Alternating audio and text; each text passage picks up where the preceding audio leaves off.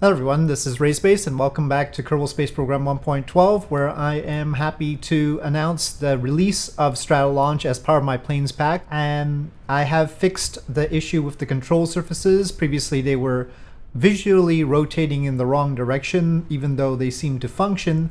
And what fixed it was actually removing the control surface as a child of the main surface. So uh, they're still the same part but in Unity, uh, the control surface apparently has to be separate. Uh, it, it, used to be that the main surface was the parent, and then there's the control surface transform, and then the actual control surface as a child of the transform.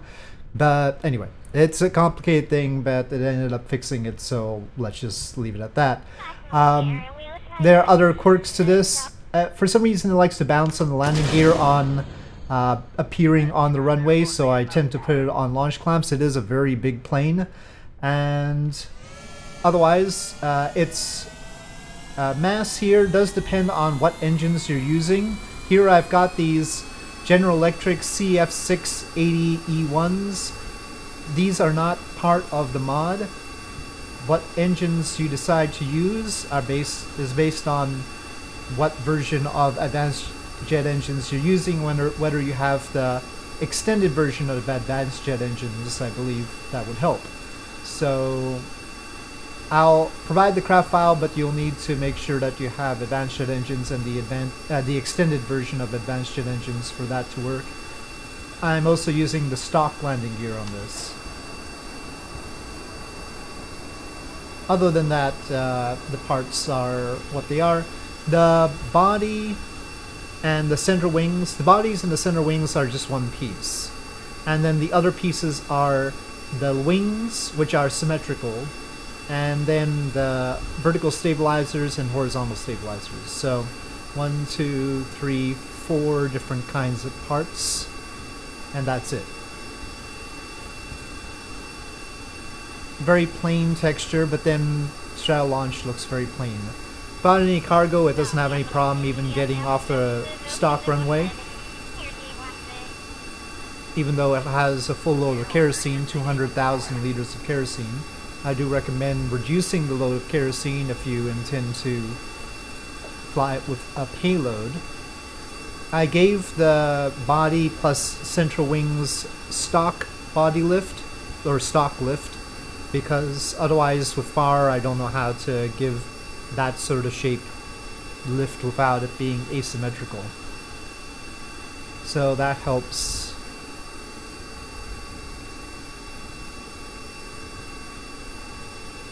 But the main holdup with it was the control surfaces actuating in the wrong direction. Like this, it certainly doesn't have any problem picking up speed.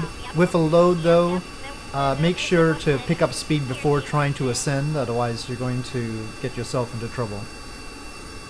I don't have uh, Cape Canaveral HD in this particular install, that's why we have the runway jutting out there. This install mainly uses 10 pico. But I actually want to see if Stratolaunch can land on the stock runway, so that is why we are here. Or the stock runway as resized by Realism Overhaul, I don't know if it's a different length. As far as the cockpit is concerned, it's just a Mark III cockpit. So if you have RasterPropMonitor for the Mark III cockpit, it'll still work. The windows will not look the way they're supposed to for Stratolaunch, but not too bad actually. While the wings have ailerons, they don't have air brakes. So if you want air brakes, you'll have to add those. Then again, it, it doesn't take too much to slow it down.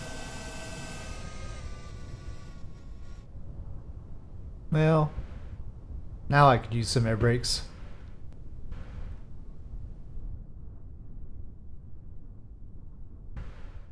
Okay. Oh, oh, oh, don't be slow right here.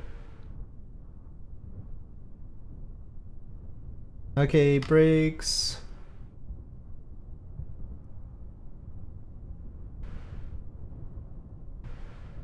Oh boy. I don't think we have enough runway. This probably has happened before too. Okay.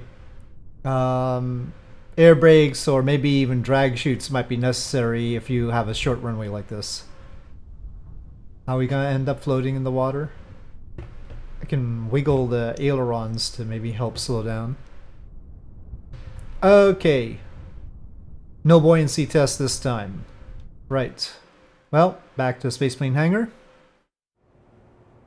So I'll provide the craft file, but it sort of depends on you having the right mods to go along with it, especially uh, probably TweakScale for landing gear, right? I have scaling here, and then the right mods for the engines. Uh, as far as putting it together, uh, unfortunately a lot of stuff pops up with Stratolaunch for reasons I don't understand, but they will all be alphabetized as Stratolaunch. So the bodies, again the textures aren't like super or anything, I admit. Wings are symmetrical, and feel free to use them for other things. Then the vertical stabilizers, they're like that. It's so because of the control surface has to be uh, certain orientation in Unity. Two clicks with it will at least get them looking about right. You could probably tweak them a little bit more than that, but uh, with snap-on, two clicks with it to rotate. Seems like this bit is a little bit buried, so I would probably go so far as to pull it out and rotate it like this and so to try and make it proper.